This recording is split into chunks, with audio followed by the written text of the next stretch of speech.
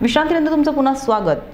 पुण्यातील खडकी रेल्वे स्थानकावर मागील काही दिवसापासून दोन नव्या कोऱ्या रेल्वे गाड्या ग्रीन सिग्नलची वाट पाहत धूळ खात अवस्थेत आहेत याचा आढावा घेतला आमच्या प्रतिनिधीने. पुणे डिव्हिजनच्या अंतर्गत खडकी रेल्वे स्टेशनला दोन महिन्यापासून दोन लांब पल्ल्याच्या गाड्या आणि एक डेमू उभी केलेली आहे.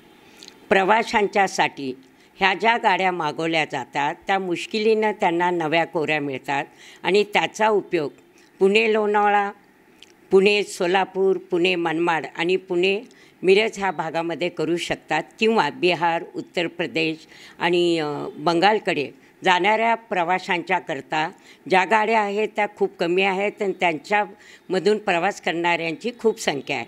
आणि एका कोचमध्ये तीनशे ते चारशे ॲडिशनल प्रवासी भरले जातात. मग ह्या तीन गाड्या उभ्या करण्याचं रेल्वेचं प्रयोजन काय?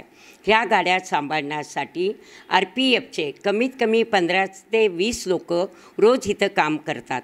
आणि रात्रंदिवस त्यांच्यासाठी जे आर पी एफ निगराणी करत असतात मालमत्तेचं नुकसान होऊ नये म्हणून त्याच्या पगाराचा जर हिशोब केला तर रेल प्रशासनाचा दिलेला पगार अधिक त्या उभ्या असलेल्या गाड्या न पळवल्यामुळे त्याचं झालेल्या नुकसानाचा जर विचार केला तर रेल प्रशासन अशा अधिकाऱ्यांच्या ज्या दुर्लक्षपणामुळे गलथान कारभारामुळे रेल आज विकायची वेळ आलेली आहे ती आली नसते आणि बऱ्याच अंशी सावरली असते. आताच आपण पाहिलं की हर्षा शहांनी आपलं मत व्यक्त केलेलं आहे. ह्या साधारण लोकांच्या खिशातील पैसा सरकार जर असा अमापपणे खर्च करून घेतलेली वस्तू जर असं अडगळ म्हणून टाकत असेल तर याचा साधारण लोकांना काहीच फायदा होणार नाहीये. आणि येणारं बजेटही आपण पाहू शकतो की अशा विनाकारण खर्च जर सरकार वाढवत असेल तर हा सगळ्यात मोठा प्रश्न सामान्य नागरिकांना भेडसावणार आहे.